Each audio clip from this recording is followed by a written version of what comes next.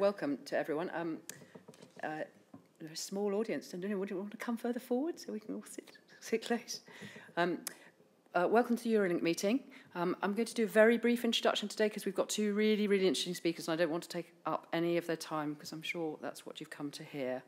Um, but uh, just to summarise um, the year.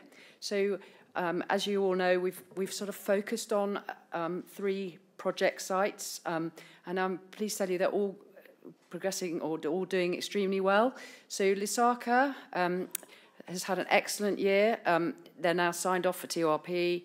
Uh, um, Paul Anderson, who's been leading on the urethroplasty work, has just come back from another trip there and says they, that um, they are become, have become very competent at the, uh, most urethroplasty work now. So uh, probably moving forward, it's just supportive.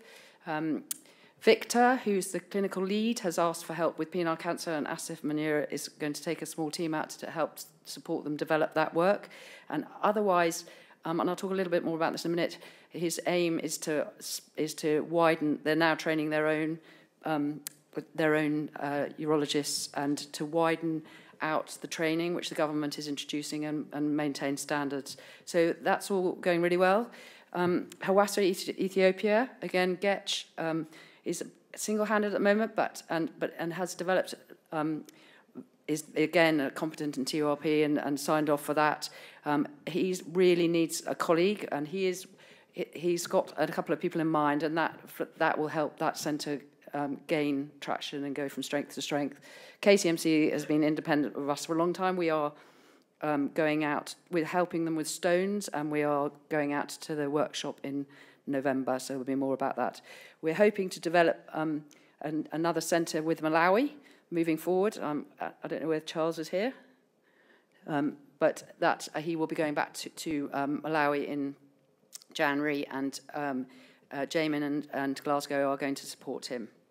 Um, there's, I'm very well aware there's lots of other fantastic work going on, uh, and too much to mention in a, in a short summary today.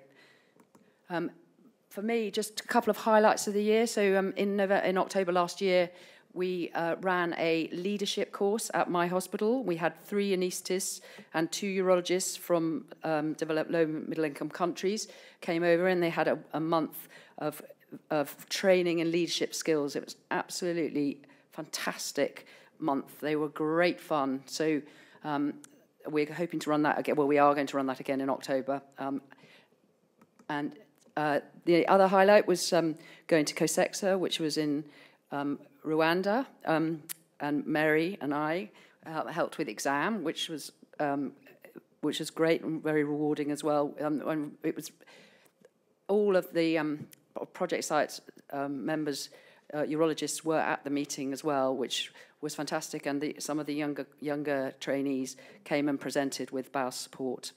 Um, so I'm not going to say any more, uh, except to, as usual, thank BAUS, TUF, BJUI for the ongoing support and funding. Um,